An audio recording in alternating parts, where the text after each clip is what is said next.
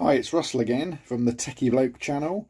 Um, just another quick video about the DC isolators. So obviously you've got your PV panels um, up on the roof, uh, cables coming down off them into the house or into the garage in this case um, to the uh, inverter. Before it hits the inverter you need to be able to isolate those PV panels.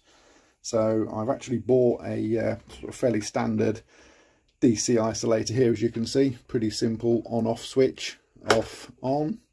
If it's on you can't actually dis you know disconnect the box so you can't take the box apart. Uh, in order to do that you have to turn it off and then the lid comes off. Um, now the problem here is that I was hoping to be able to bring the cables sort of from the top of the wall or from the roof down through this port here into the switch port and obviously out the other end just to make it look nice and neat and save any kind of nasty bends on the cables. But as you can see here um, we've got four ports four in four out. They're all switched but they've got some links across the first two and the second two here so we can't put anything in the top here.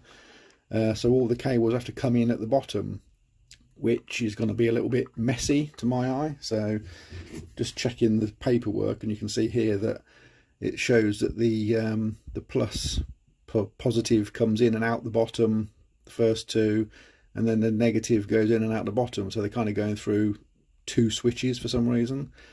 Um, I have looked into this and if you take this link out and put a cable in L1 and a cable out of T1 and check it with a multimeter it is actually switched. So all these are switched individually. So in theory you could have the two positives coming in, sorry, the positive coming in here, out there, and the negative coming in here and out there, and they would be switched, but only on a single switch as opposed to the, the two switches that it goes through there. So I assume there's a reason for that. Um, so I guess we better stick with that. As you can see, I've got the cables here, so this would be the positive in and positive out. Um, but having said that, I've also been looking at another option for these, so you can actually get DC mini circuit breakers. This is an AC one, but you can get DC one. So I've just ordered a, a, a mini MCB, uh, sorry, a mini consumer unit that we can put some DC breakers in. So I think that would be a, a, neater option and it also lets me have the cables coming in the top and out the bottom. So once that arrives, I'll uh, post another video on that. But uh, thanks for now. Thanks for watching. Keep your eyes peeled for more videos.